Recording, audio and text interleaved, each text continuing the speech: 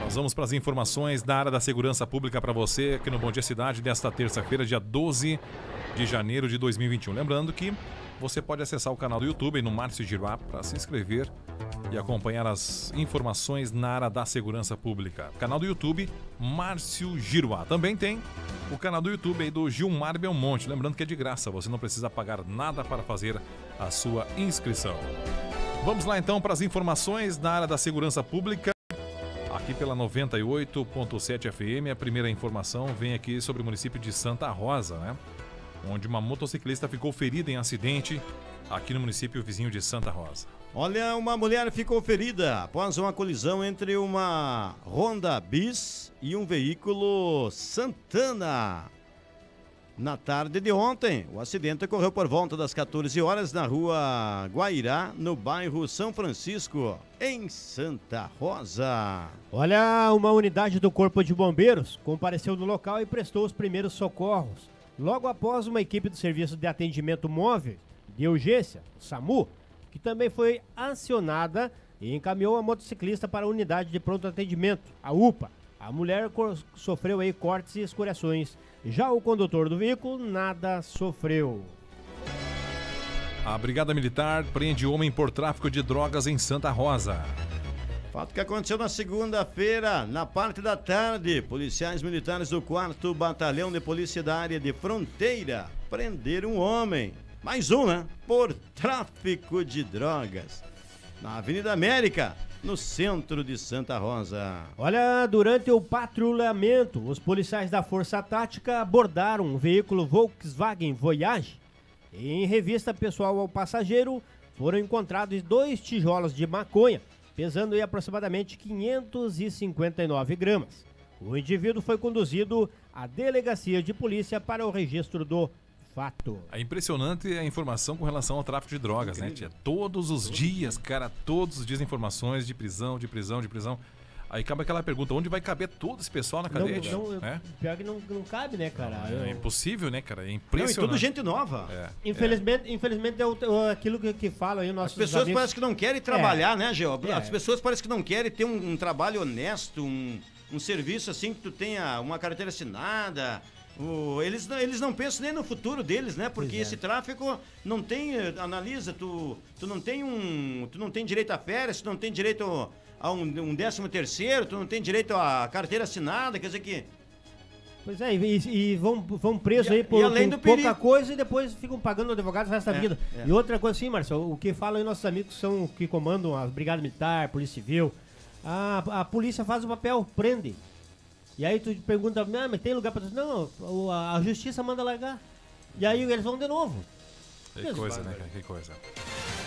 Homem morre após tombar caminhão no noroeste gaúcho. O que aconteceu na manhã de ontem, por volta das 7 horas da manhã. Um jovem de somente 28 anos, como identificado como Augusto Ribeiro, morreu após tombar um caminhão no interior do município de Constantina aqui na região noroeste do estado. Olha, de acordo com as informações, ele dirigia um caminhão basculante de propriedade de uma empresa de terraplanagem. Trafegava aí pela ERS 143, não pavimentada, sentido Constantina Rondinha. Quando próxima linha Guardinha, no quilômetro 15, tombou o caminhão após uma curva. Devido ao impacto, o corpo da vítima foi arremessado para fora do veículo. O SAMU foi acionado, mas o jovem já estava sem vida. A Brigada Militar esteve no local e, segundo informações da Polícia Civil de Constantina, o homem não era habilitado, né? 28 anos, acabou perdendo a vida, então, neste acidente aqui no Noroeste Gaúcho.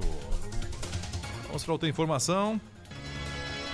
Colisão frontal entre veículos deixa duas pessoas mortas na BR-285 em Carazinho. Olha, a Polícia Rodoviária atendeu a um acidente de trânsito. BR-285, quilômetro 330 em Carazinho. A colisão frontal ocorreu por volta das 11 horas e 20 minutos de ontem e envolveu um veículo Fiat Uno com placas de Caxias do Sul e um veículo K com placas de Passo Fundo.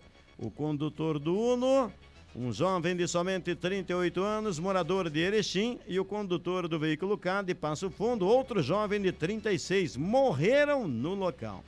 Dois passageiros que estavam no carro foram socorridos e encaminhados ao hospital para atendimento médico. O levantamento policial constatou que o Uno transitava no sentido Carazinho a Passo Fundo e invadiu a contramão colidindo de frente com o K, que seguia em sentido contrário. No local, a sinalização proíbe ultrapassagem. A SAMU e bombeiros foram acionados para atendimento e também a equipe da Polícia Rodoviária Federal. Acidente com desencilhadeira mata homem no interior de Tiradentes do Sul. Só o Márcio tem essa informação. Fala, Márcio. Não, vou trazer então esse acidente de trabalho, né, que tirou a vida aí de um homem manhã de ontem em Tiradentes do Sul.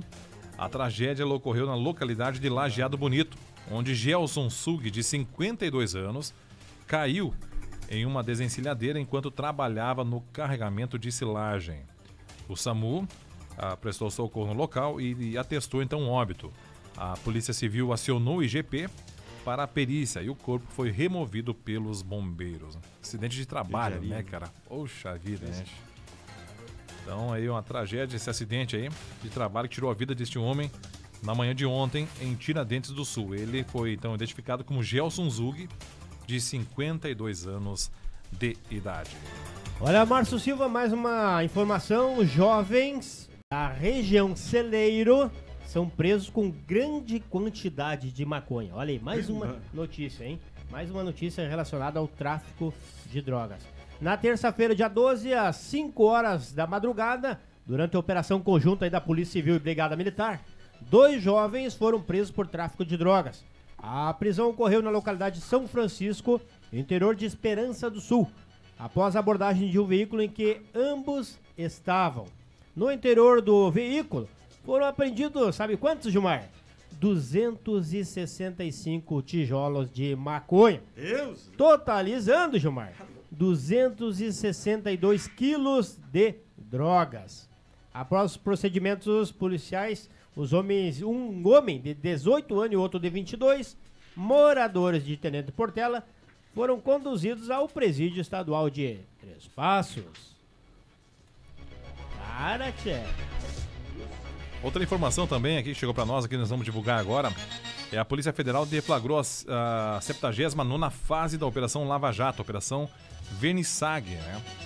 E... Então a Polícia Federal, em cooperação com o Ministério Público Federal e a Receita Federal, deflagrou então nesta manhã esta operação. Cerca de 70 policiais federais e 10 auditores da Receita Federal cumprem 11 mandados de busca e apreensão. Então são essas as informações na área da segurança pública para você aqui no Bom Dia Cidade. Você pode conferir daqui a pouquinho também no canal do YouTube. Só acessar lá Márcio